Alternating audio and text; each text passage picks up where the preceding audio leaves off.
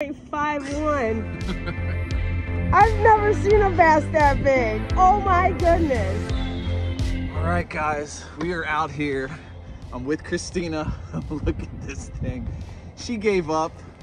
She, she gave up. and I was like, no. I was like, we're at a really good spot. You need to check it out. And this is what we got. It's a nice fish. We're gonna weigh it here real quick. I'm guessing five, five one. Okay, let's see this I don't know, man. That looks like almost the size of mine. Okay, let's see how big it is. All right, Christina, what do we got here? Why don't you tell me what that is? Seven and a half, seven point five one. I've never seen a bass that big. Oh my goodness. Oh, she was sitting down. I was like, Christina, just make a couple casts. She's Oh like, "No, my god, I'm I fine. I'm fine. Check this out, guys. oh my nice god. So seven and seven point five is really seven uh, point eight. It's seven and a half. Okay. So it's eight ounces in in a pound, or sixteen ounces in a pound. So this is one through ten. So five point two is eight, eight, seven point eight ounces. Guys, look at this thing. I can't believe you just caught a seven pounder. I can't believe on a spinning reel that you oh hate. my gosh! I was just telling her On how a- much I didn't like. On it. an awful spinning reel. Oh, we're gonna let this guy go. I just want to show you one more time. Whew, look at that.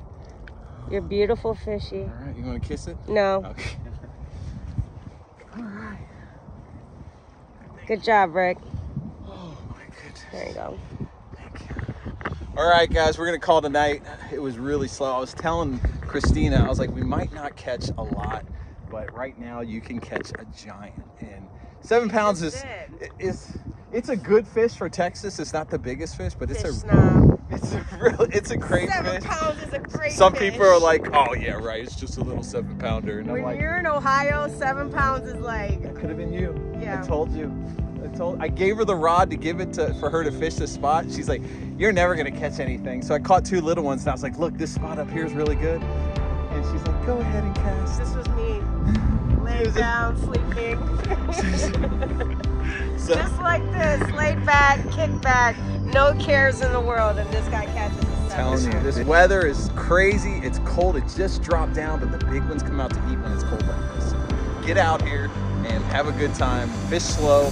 We're using a, a Senko from uh, Tackle Co-op. It's, it's, it's really, really good. So I'll leave a link below. You guys can check it out. Christina, tomorrow we're gonna keep fishing. We're gonna see if we get our big one.